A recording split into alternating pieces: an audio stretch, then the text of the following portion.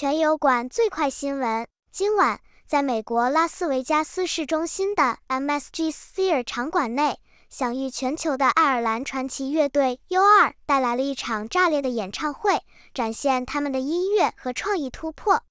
这场演唱会在 MSG Sphere 巨大的三百六十度球面 LED 屏幕上进行，为观众呈现了一场激动人心的音乐盛宴和视觉盛宴。